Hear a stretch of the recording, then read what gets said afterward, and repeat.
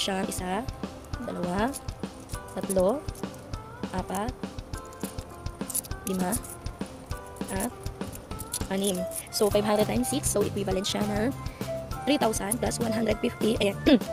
150 to. Yun. So, itong coins natin is 3,150. Tapos, ito naman is 1,500. Ayan. Tapos, 1, 1, 2, 3, 4, 5. So, 2,000 na itong buo natin. Tapos, ito pa.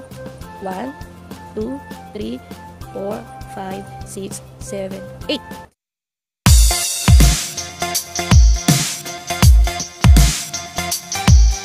Hello everyone! Welcome back to my channel. So today is June 1, 2019. So may naisip lang po akong gawing video. So ito ay tinatawag na Ipon Challenge. So challenge ko po yung sarili ko na mag-ipon um, gamit tong mga ay, gamit tong mga to. So paano ba? Dito po, ito pong ito pong kahoy na ito i, um, ang nilalagay ko rito is 50 NT na kung saan challenge ko yung sarili ko na lahat ng 50 NT na mahahawakan ko ay hindi ko siya gagastusin, ilalagay ko siya dito. Ngayon, bubuksan na natin kung magkano yung laman niya. At ito naman, um, March ko siya binili. So, ang nilalagay ko dito is yung natitira ko ng isang buwan. Opo, yung natitira ko ng isang buwan kung saan dito ko siya nilalagay. Kasi 'di ba nagwi-withdraw nga tapos merong natitirang excess. So ayun, dito ko siya nilalagay. So may 1,000. Bubuksan natin siya para makita nyo kung magkano ang overall na ipon ko on hand.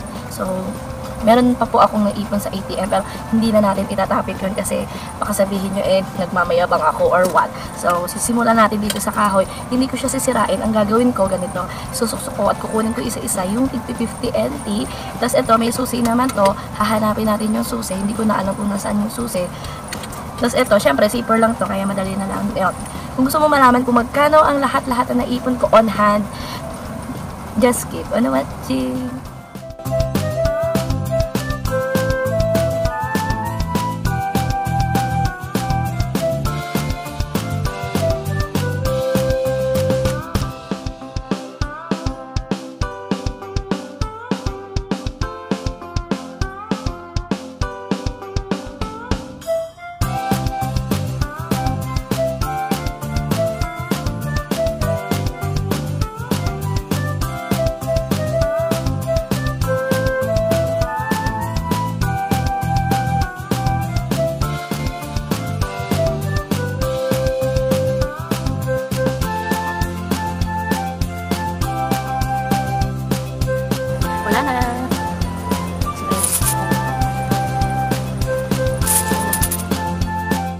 So, natapos na natin itong kahoy na to. Hindi ko siya sinira kasi baka pwede ko pa siyang gamitin sa susunod hanggang mag-end of contract ako. Ano, pwede ko pa siyang paglagyan. So, sa ngayon, tinanggal na natin laman niya.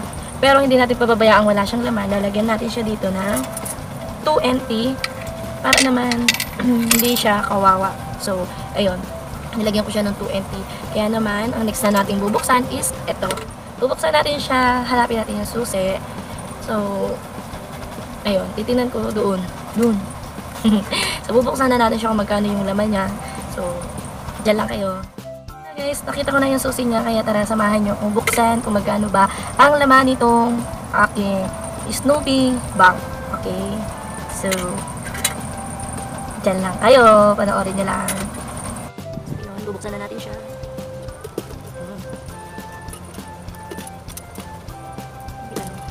Magkano kayo yung laman? Tara! Ayun ang ating naipon. Gawin na natin. Bubuhos ko lang.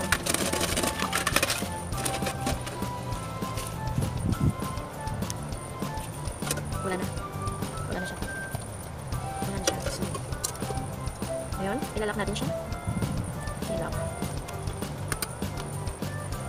Ayun. So, pero lalagyan ko siya ng 5 NT para naman hindi siya nakakaawa na naubusan siya ng laman. So, ayan na nga guys, hindi ko alam kung saan ko ilalagay yung cellphone para para makita nyo kung paano, kung paano, kung magkano yung habang binibilang ko. Pero kaganyanin ko na lang. So, ayun. Meron dito tigilipay or 100 MT. Ayan, ayusin na natin siya.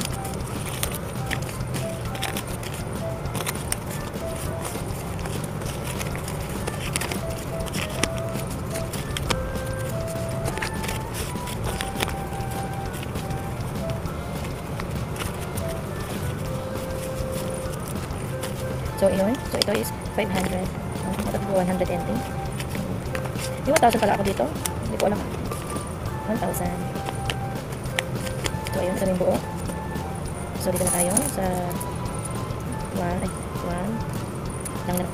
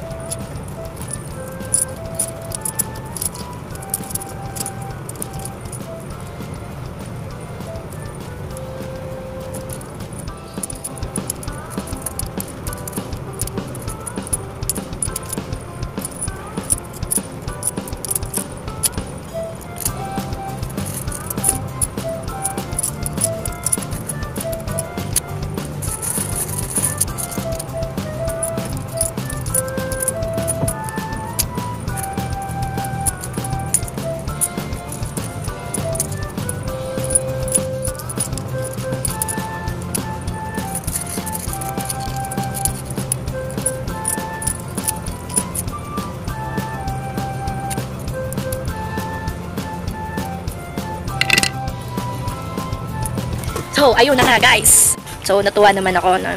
Ayun na nga guys. So, nabilang na natin. Nakita nyo naman.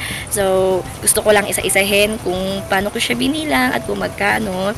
So, ilalagay ko siya dito sa magulok kung ano, tawag na to? Or, ayan, i-ano ko na lang. So, tingnan nyo ha. So, dyan lang ulit kayo. Panoorin nyo lang. So, ang bawat isang ganito is 500, o 100, 200, 300, 400, 500. So, meron siyang isa, dalawa, tatlo, apat, lima, at anim. So, 500 times 6. So, equivalent siya na 3,000 plus 150. Ayan. 150 to. Yun. So, itong coins natin is 3,150. Tapos, ito naman is 1,500. Yan. Tapos, 1, 1, 2, 3, 4, 5. So, 2,000 na itong buo natin. Tapos, ito pa. 1, 2, 3, 4, 5, 6, 7, 8. So, ayun. Yung buo natin is 2,800. Yun. 2,800. Kaya ang saya-saya guys. Ang laki-laki pala na naipon ko. So, ayun guys. So, nakita nyo naman at nabilang nyo naman kung magkano yung ipon ko. Pero guys, hindi pa kasama yun. Nandito po sa, sa wallet na yung tigi isang libo na kung saan hindi ko alam kung bakit yung yung nandito is may isang libo. Kasi binubukod ko talaga yung 1,000 kasi nga as long as na ano hindi tag nito ayoko talagang gamitin yung tigo 1,000 kaya naman ay ano yung eto bibilangin na natin yung tigo 1,000 ko na naipon. So ayun hindi ko na sinama yung 1,000 na nandito ha? Kasi hindi ko talaga expect na may 1,000 siya. Siguro ito yung mga first time kong nagulog yung tuwang-tuwa ako. So ito 1, 2, 3, 4, 5, 6, 7, 8 ayun may 8,000 cash tayo na tigo 1,000 at meron tayong 2,800 dito, dito, dito nakuha. Ayan, dito natin siya nakuha. Na kung saan eh, yun yung mga natitira ko every month. Tapos yung mga coins natin, kagaya nito is nagkakalaga siya 3,100 ah, 50 yun 3,150 so, ayun. So, ayun na nga guys.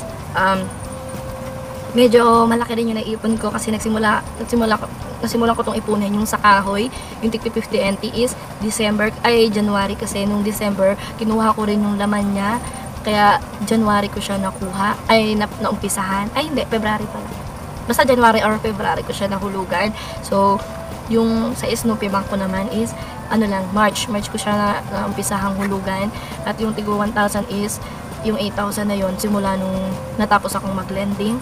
So, nag-ipon ako ng 1,000, ng 1,000, ng 1,000. Tapos, bukod pa po yung nandun sa ATM ko na kung saan hindi na natin aalamin yon uh, Ano ba ang dahilan kung bakit ko binuksan yung mga yung mga ano ko, yung mga, yung sa ipon ko nga, ano nga ba yung pinaka main reason? Kasi guys, bibili ako ng ticket papuntang Pilipinas. So, kaya naman ako nag-ipon is para sa ticket nga, para hindi ko na mabawasan yung tigo 1,000 saka yung sa Snoopy.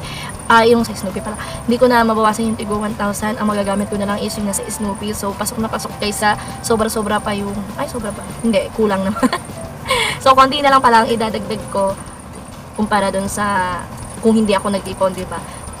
Pero thankful talaga ako kasi ganito yung naipon ko lalo na yung sa 50 NT kasi naka 3,000 ako. So, hindi ko talaga ina-expect. So, kaya, kaya naman guys, kayo ang tip ko lang sa inyo, huwag kayong masyadong magastos.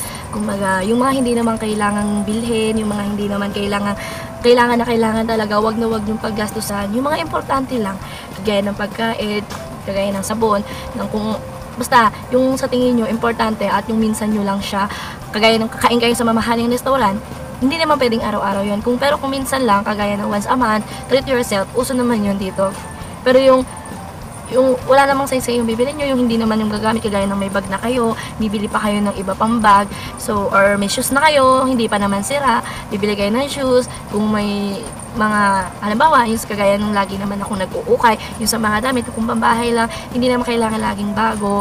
So, ganun, ganun guys ang pagtitipid. Tapos, kung sa pagkain naman, kung pwede pang iulam hanggang mamayang gabi, bakit hindi? Hindi naman sa sinasabi kong tipirin nyo yung sarili nyo, ang sinasabi ko lang, hanggat kaya pang gamitin, hanggat kaya, hanggat pwede pang kainin, ganun, ganun. Hindi naman porkit OFW ka, kailangan magaganda yung susuotin mo araw-araw. Hindi naman porkit nasa abroad ka, kailangan masasarap yung kinakain mo araw-araw, di ba?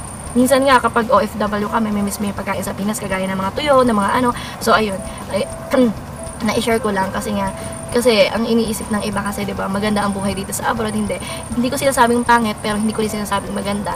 Kasi sinasabi ko lang doon tayo sa ano kung saan tayo makakatipid kung saan sakaling mag-abroad man kayo guys ang tip ko hanggat as long as na lahat is nagagamit nyo pa ng maayos ayun pwede nyo pa naman siyang gamitin, huwag muna kayong bumili. Or, bumili man kayo guys, yung may stock lang, yung isa lang, dalawa lang, hindi naman kailangan ng marami guys. Kasi, ikaw lang naman yung, sarili mo lang yung gagastusan mo rito sa abroad. Wala ka namang ate, wala ka namang kuya, kasi ang gagastusan mo lang is yung sarili mo, ang, ang maitutulong mo lang naman sa Pilipinas, ay yung magpapadala ka ng pera, sila na bahala mag-budget. So, yung budget mo dito, ikaw at ikaw lang ang nakakaalam kung magkano yung magagastos mo araw-araw.